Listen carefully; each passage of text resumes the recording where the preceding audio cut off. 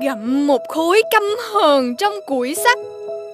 Ta nằm dài trong ngày tháng dần qua, khinh lũ người kia ngạo mạn, ngẩn ngơ.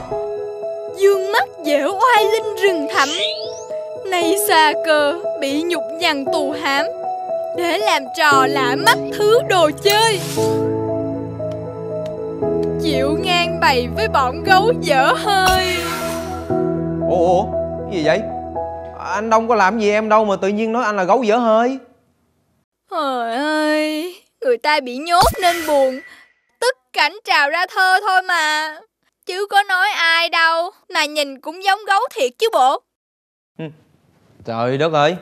Nè nè nè nè. Em có tin đó là anh sẽ nghiền nát em như là cái tổ ong luôn không? Ừ. thôi thôi thôi. Em bị nhốt như vậy á đã buồn lắm rồi. Đừng có ăn hiếp em nữa. Nè mà anh hỏi thiệt em á em phá phách cái gì mà để bị nhốt như vậy vậy? Ừ? có phá phách gì đâu tại em tốt quá nên mới vậy chứ bộ. Gì? Tốt nên bị nhốt. Chà cái vụ này á, lần đầu tiên đông nghe à nha.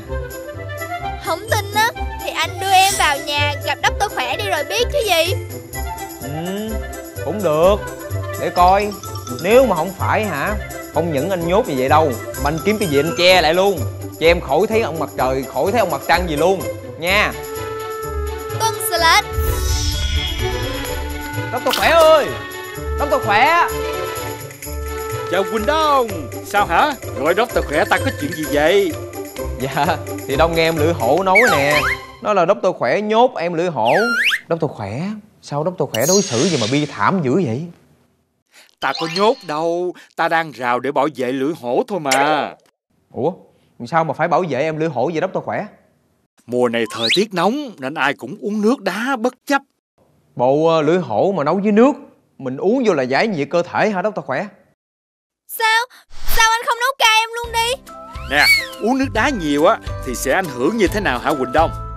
Thì mình uống nước đá nhiều á mình sẽ bị ho mình sẽ bị viêm họng.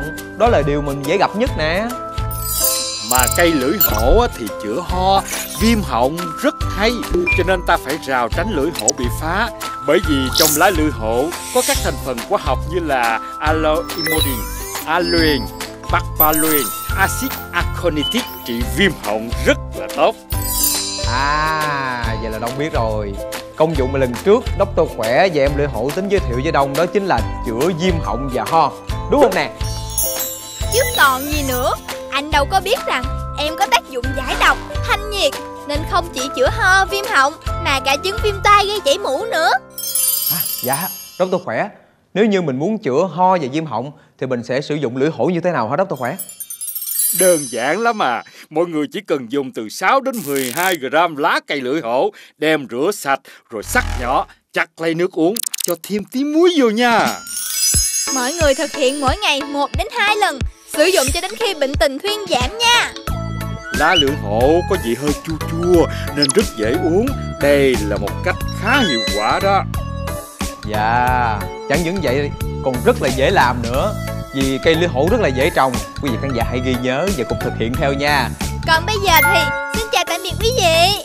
Em về với củi sắt à không là về với lòng son gắt vàng của em đây Dạ, còn bây giờ thì à, Quỳnh Đông, Doctor Khỏe và em Lưỡi Hổ. Xin chào và hẹn gặp lại quý vị khán giả ở chương trình lần sau nha. Xin chào.